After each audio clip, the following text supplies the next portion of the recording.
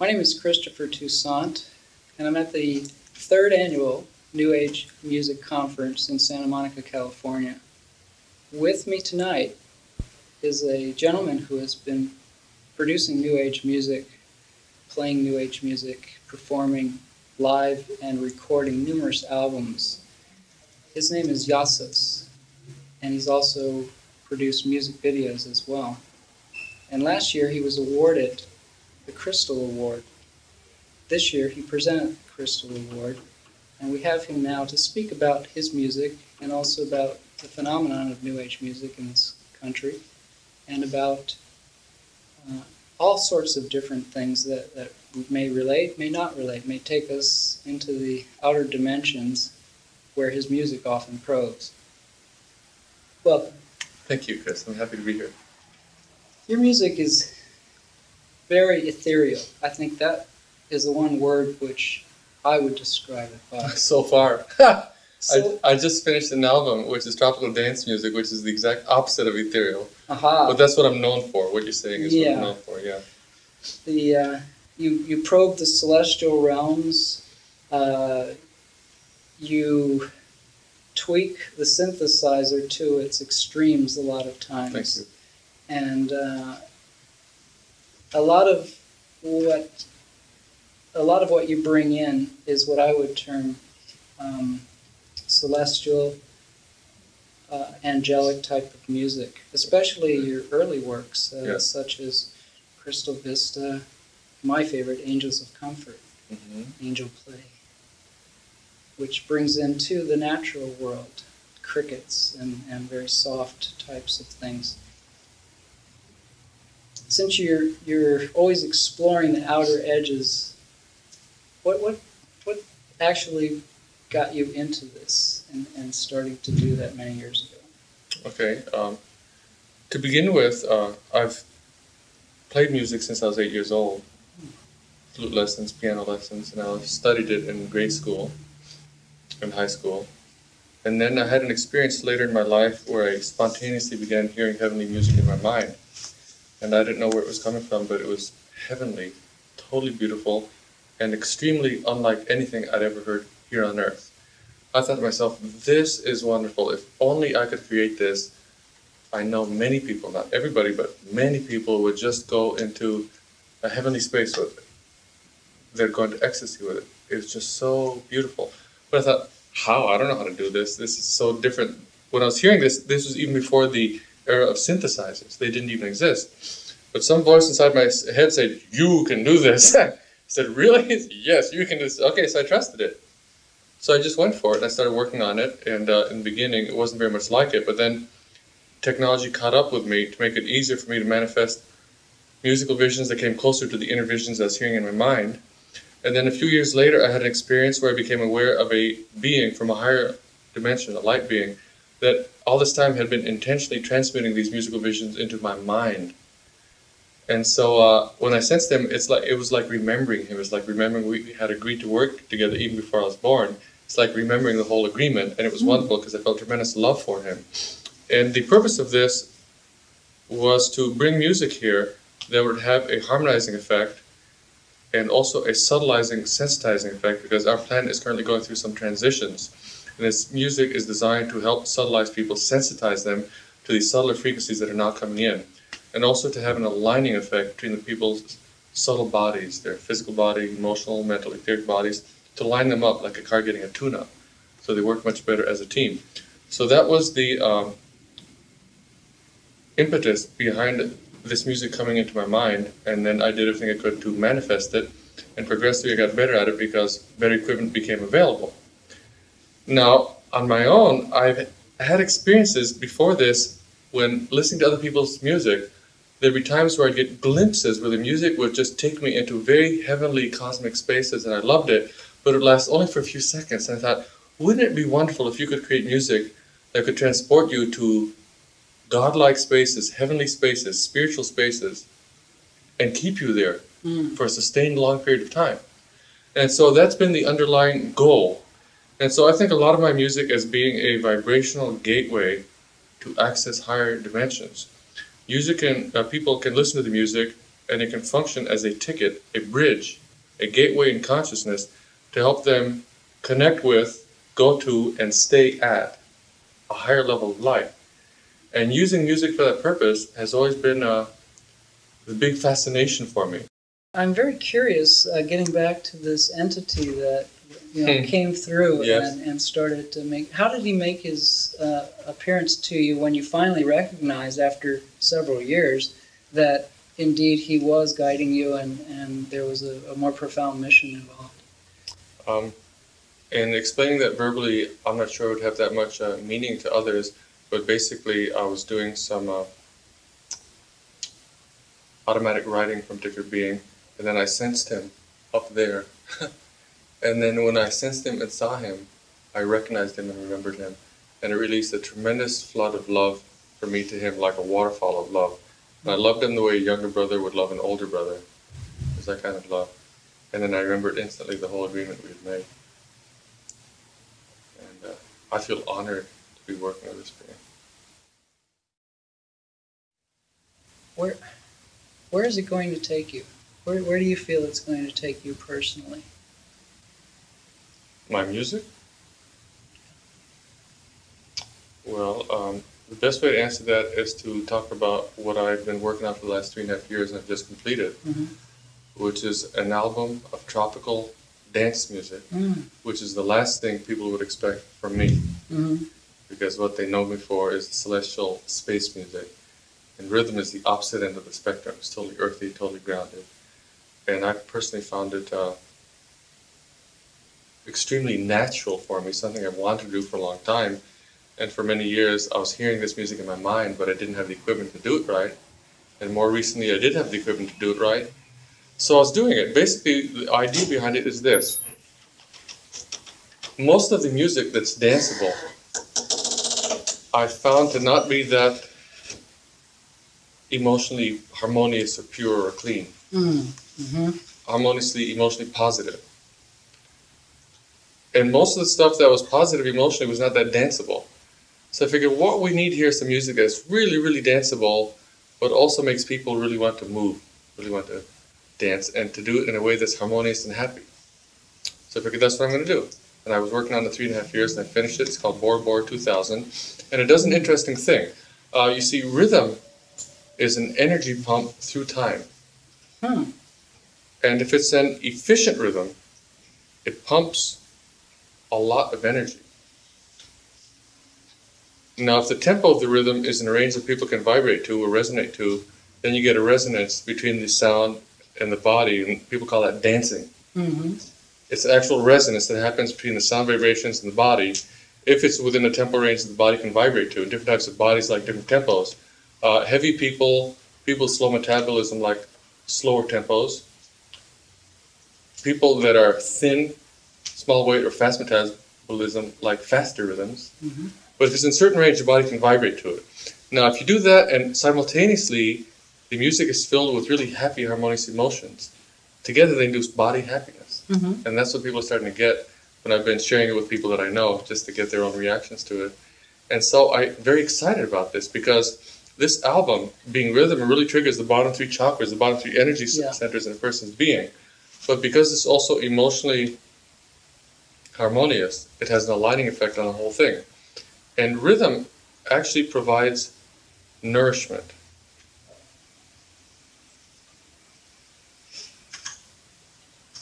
That steady pulse, when systems phase lock with it, when they start vibrating with it, it can provide energy, Mhm. nourishment. In ancient cultures, people used music for working. Of course, uh, people sing a lot in Africa now when they do uh, tribal work, but in ancient cultures, they used it even more like in ancient Egypt. They'd use it uh, when they were building temples, for example, Mhm. just to make the work of building more efficient, more effective. Mhm. Did you happen to visit Bora Bora or listen to the music of the people there, or did it just kind of spring up spontaneously? Uh, the music was in my mind before I went to Tahiti, but I did go to Tahiti, including Bora Bora, for uh, a month. And uh, the music is not just native to Tahiti. As a matter of fact, it is not an attempt to recreate Tahitian music. That's not what it is. Right. Although it is an attempt to capture the feeling of the tropics, my own interpretation, like an impressionistic painting of the tropics as opposed to a photograph of the tropics. tropics. And so it was an attempt to create that feeling. And uh, That feeling of, of paradise. Yes, yes, exactly. And so the six dance pieces are very high energy dance pieces, and the four tropical landscapes, just like Bora Bora and Huahine and Tahiti and Moorea, are very laid back, mellow, relaxed. Mhm. A wonderful complement to the high energy dance style.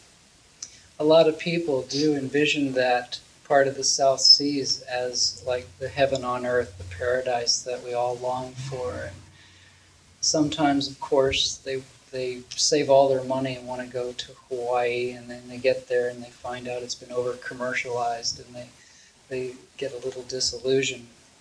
Do you think that maybe something of what you wanted to, to recreate was was a, a unique type of feeling that would give people a sense of what paradise is about in aural terms?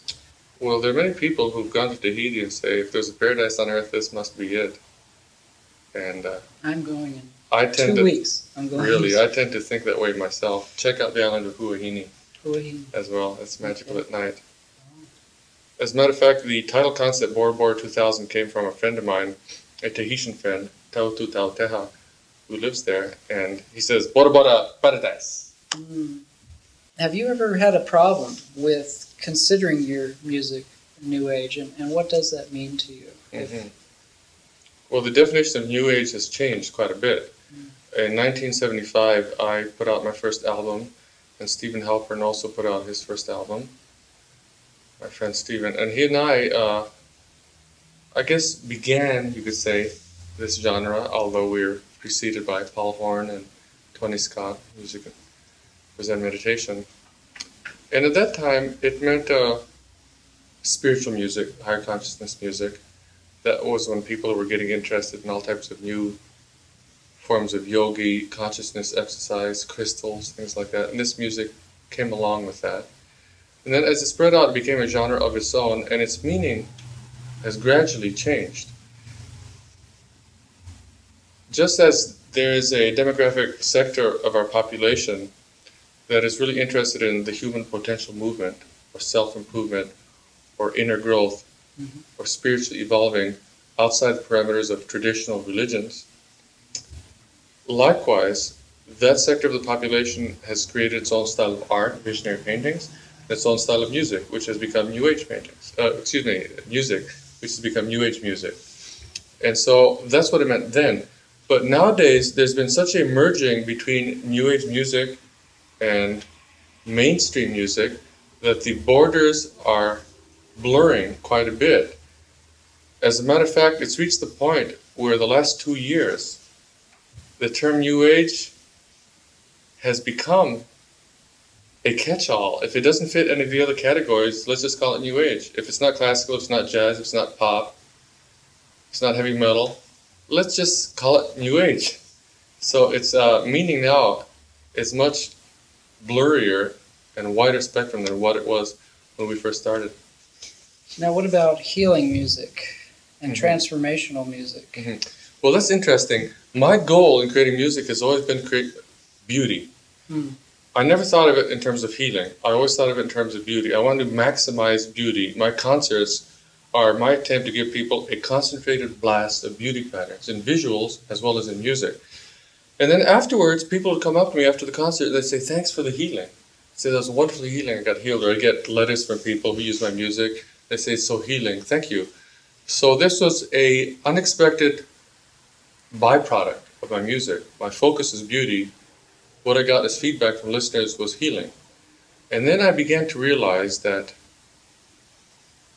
if it's really beautiful by divine standards, then it's harmoniously integrated energy. And if it really is harmoniously integrated energy, then it has a harmonizing effect. If it has a harmonizing effect, it has an aligning effect on a person's body. Now, what's the basic concept of how uh, music can be used for music therapy or healing? A lot of people talk about it. Uh, very seldom do they talk about the actual mechanics of how it happens. Mm. The actual mechanics is this modern medicine knows that many diseases are psychosomatic. They're created by your thoughts and your feelings. Mm-hmm. If you're nervous a lot or worry a lot, you can get an ulcer, things like that.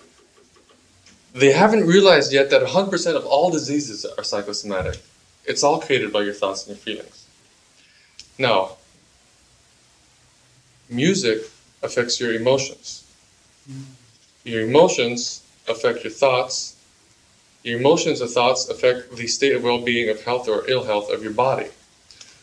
So if you have harmoniously organized music, that tends to, tends to induce harmonious emotions. The harmonious emotions tend to induce optimistic positive thoughts. Then both the optimistic positive thoughts and the harmonious emotion, emotions induce a healthy body. So that's the causality. Harmonious music creates harmonious feelings. Harmonious feelings and positive thoughts induce healthy body, an aligned body, balance, center. So why isn't this thing taking over? What? Why do so many people still like listening to, to hard rock and other types of avant-garde music, Mhm. which is very jarring and and if we should say divine standards, Mm-hmm. by divine standards, would be more jarring and and uh, discordant. Okay, well, first of all, not everybody's listening to music for the sake of healing. Mm-hmm.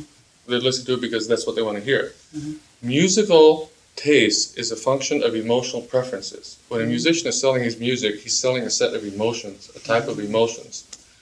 Uh, people like Led Zeppelin, for example, have a type of emotion they radiate which has extreme feelings in it, like that. Mm. Different types of music are offering to the public a different sets of emotions.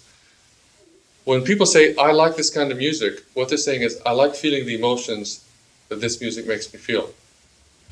Now, different people have different emotional needs. If a person is angry, really, really angry, there's a good chance he's going to want angry music, and it's out there. Mm.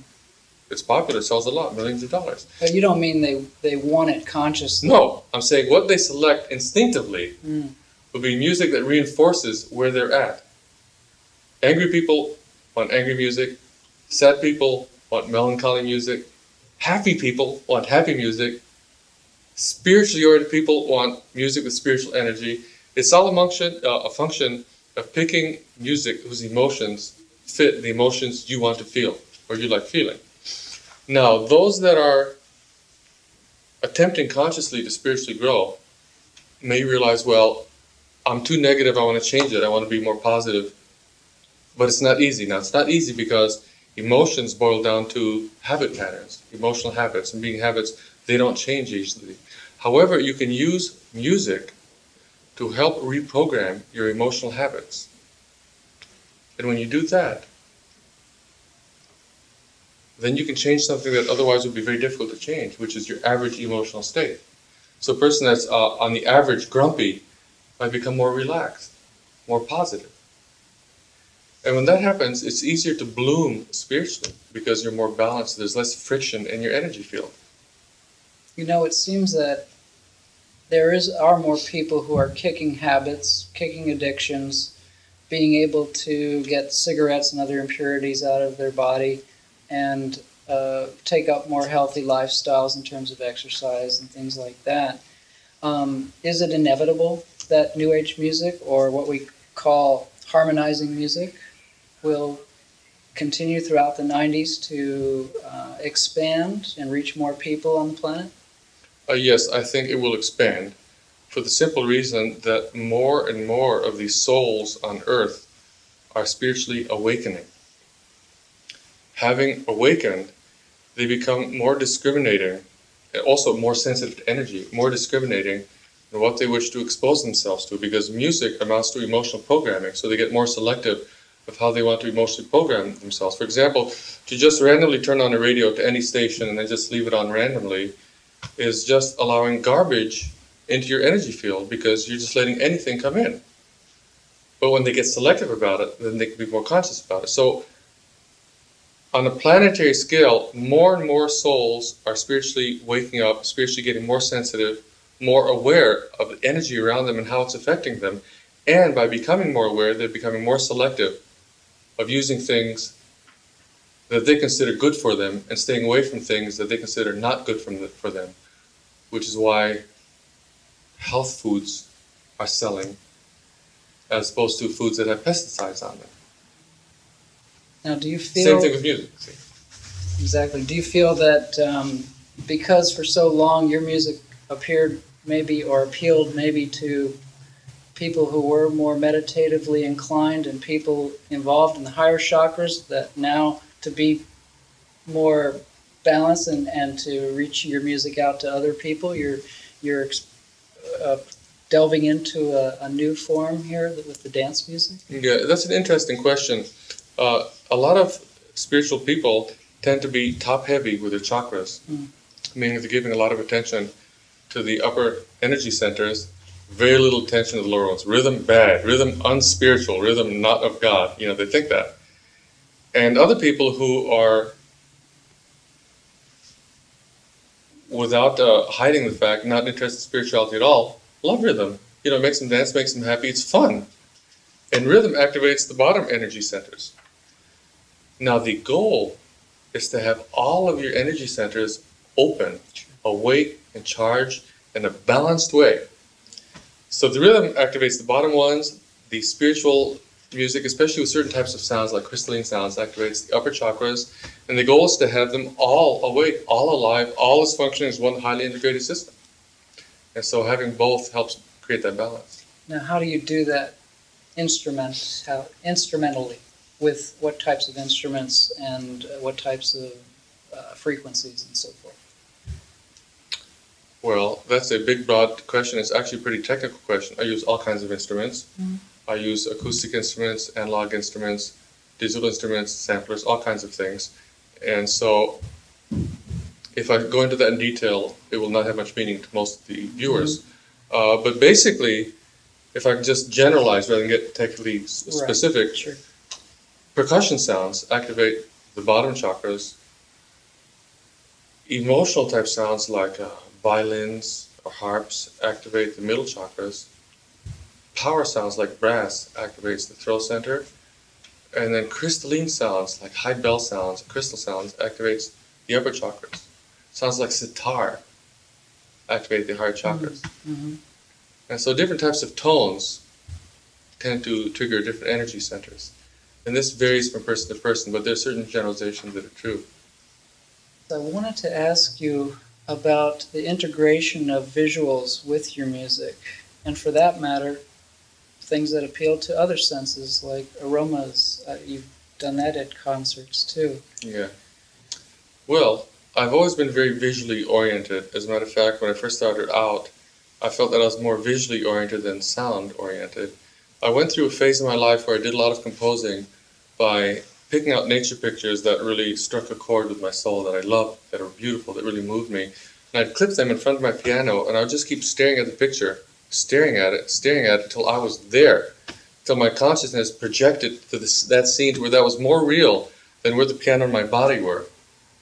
The piano and my body were dreaming, where I was in that picture was more real. When I was there, I would feel how it felt there. When I got the feeling, then I could squeeze that feeling into music, then I'd come back and piano and compose what I was getting. So a lot of my compositions were translating visuals into music. And later, when people hear my music, they say it triggers visuals in them. so that completes the circle because it started off that way anyway. Now, music and visuals have complementary roles in terms of what they can do to raise consciousness. Mm-hmm. Music, not that it always does this or that it should do this, but it can do, one thing that it's capable of doing is generating divine emotions.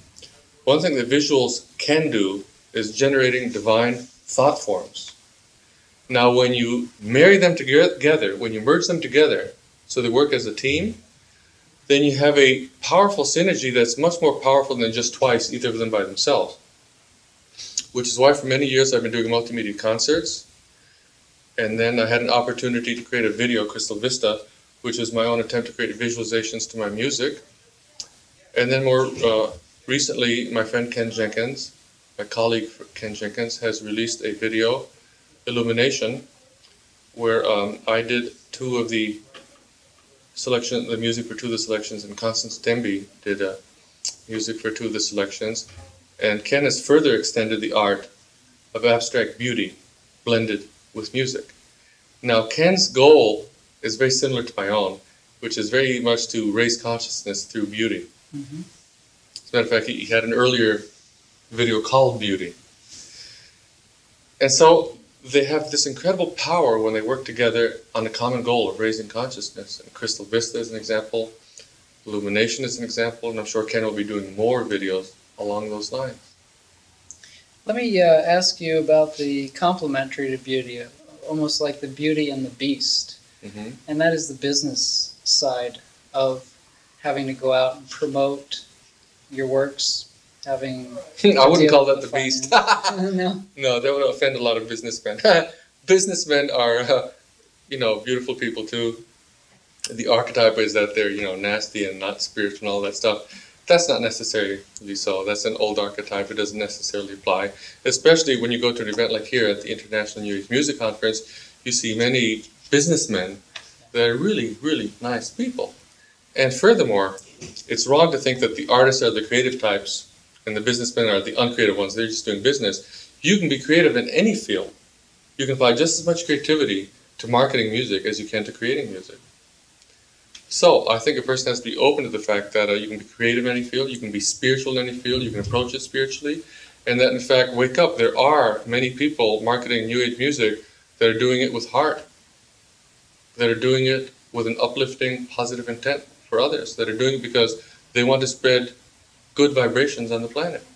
Many of those people are here at this conference. That's great. What do you do in terms of um, dealing with that aspect? Because a lot of artists, you know, find the financial aspects Mhm. pretty boring or just Yes.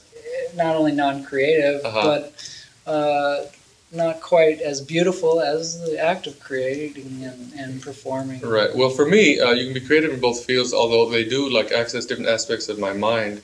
I think of uh, creating music as being more of a left brain activity, and dealing with business more of a right brain activity. And so I've simplified my life. When the sun is up, I deal with business. When the sun goes down, I work on music. it makes it really simple. It's easier for me to think analog, to think intuitive, to think left brain when the sun goes down. Especially, it's easier You mean After right, most right people- brain? Right, right brain? is- Yes, yes, yes. Af- especially easy after most people go to sleep after 10 p.m. I do my best work between 10 p.m. and 2 a.m. And so I take care of business, going to the bank, doing stuff like that while the sun is up. They say that the influence of the sun is to keep people grounded, Sure. so it's easier to do that kind of stuff then. And so I just automatically flip gears at sunset. It's really simple. And uh, through many years, I've been marketing my own music through my company, Interdimensional Music. I'm now uh, making a phased transition to having other larger companies market that primarily because they're much more effective at it than I am. They are specialists in that field. I'm not an expert in that field, and there are experts that I trust. So I'm happy to turn over that to people that respect my music, want to get it out there, and are much more expert in that field than I am. Now you live up in what some people would consider a very pristine and, and powerful center, Marin County. Yes. Uh, where is it exactly? And if you if you'd like to talk to us about Marin that. County is just north of San Francisco. As soon as you cross the Golden Gate Bridge from San Francisco, you're in Marin County. And it is a powerful vortex. Some people think of it as an island of light. It is definitely an area that attracts a lot of advanced souls. And my understanding is that different areas attract different types of beings depending what they're currently working on. And Marin County seems to attract a lot of New Age artists by which I mean both musicians and visual artists, and also other unusual media artists, electronic artists, a lot of uh, strange media. Now, none of that is by accident. My personal intuitive sense of what's going on is that Mount Tamalpais is a very powerful vortex, and what makes it so is that there's a deva, a diva from the elemental kingdom above Mount Tamalpais that charges Mount Tamalpais with a particular energy, and that attracts beings that thrive on that type of energy. And my personal sense of it is that the type of energy that the diva or the deva over Mount Tamalpais that he radiates is energy related to creativity in the arts related to uplifting consciousness. Now, it's no accident that uh, George Lucas, Lucasfilm, moved his entire organization from Los Angeles to Marin County. It's more comfortable, relaxed there, but also there's a lot of creative juice there. Gilbert Williams is there too. Yes, he was there. He's not there at the moment. He's in Oh. Florida at the moment, but he has spent a lot of time there. And there are many artists around that area, and they're coming. They're attracted there. If you look at any catalog of New Age music, and where do they live? A good majority of them probably are from Marin County. They're intuitively attracted there. There's a lot of creative juice there. Attracts spiritual people and creative people in fields that are creative related to spirituality. Mm-hmm. And so I love it. I think of my power spot as being my home and my studio, and I think of my studio as being a temple uh, where I gain interdimensional access and then do my best to use the equipment to bring that down on earth. I love being in Marin. It's my home. Tell me more about your understanding of, of this and, and other devas. And How many hours do you have? not not too long, you, you know, for a layman, for, for somebody who maybe has heard the term but doesn't really know. okay, uh, just a quick overview. This can only be quick. yeah. It's a vast field. According to my understanding, there are three ranges of evolution functioning on this planet the human kingdom, the angelic kingdom, and the elemental or nature kingdom. They have different functions and they work together. They're designed to work as a synergistic team. The elemental kingdom, which is fairies, devas, they work to create form. They're builders of form. The human kingdom is here to receive thought forms from their own higher self and then to externalize it. And the angelic kingdom is here to serve the emotional and spiritual needs of both humans and devas. They nourish them spiritually, they nourish them emotionally. Angels are radiators of spiritual essence. They're like batteries, they get charged with particular quality, they get sent someplace, and then they just radiate it out. Now, angels can see devas and humans. Devas can see angels and humans. Humans usually don't see angels and devas. However, this planet is getting more sensitive. More and more humans are becoming sensitive to it. Becoming more sensitive to seeing them, seeing fairies, seeing angels. There's more talk about angels. Currently, there's a fad now where there's a lot of angel workshops, and it's not an accidental fad. Um, there is a intent, I believe, in divine will that the humanity on this planet become more conscious of both the angelic kingdom and the elemental kingdom because they've been working so lovingly, so selflessly to serve mankind. They've gotten no thanks, no acknowledgement, no gratitude and appreciation for mankind at all. And if only they would get that, they could work much better for us. And they're here to serve us. They love serving us. They just love doing it. And elementals come in all sizes, from tiny ones, size of an electron, to ones that will caretake a blade of grass, to bigger ones for a flower, bigger ones for a tree, bigger ones for a field, a meadow, bigger ones for mountain range, till eventually it gets, you know, cosmic. Elemental beings for planet, a solar system, etc. It just keeps going up. And do you have one for each of the arts, do you think? There are Like the beings. muses, for instance, the muses. I understand, uh-huh. The arts is such a large field that there are many beings related to the arts in the angelic kingdom. There are many beings related to the arts in the elemental kingdom, and there are many humans also related to the arts. I would like to do a whole hour-long documentary on the healing aspects of meditational music. One interesting concept related to that is how this came about was I was at a place where a lady named Cassandra was channeling Saint Germain, who's an ascended master, and the topic for that evening was fairies. And after he talked a lot, uh, he was open to questions from the group. And I asked the question. I said, uh, Saint Germain, do fairies like human music, or is it too slow motion for them? Hmm. And his response was Saint Germain said, fairies like people. And fairies especially like people that are in balance. And fairies have compassion for people that are trying to get in, in balance. Mhm. So, fairies love music that was created by people that are in balance. Bottom line is how healing the music is is simply a function of how much imbalance is the person or persons creating it. Bringing it through. Yeah, because that's the bottom line limit.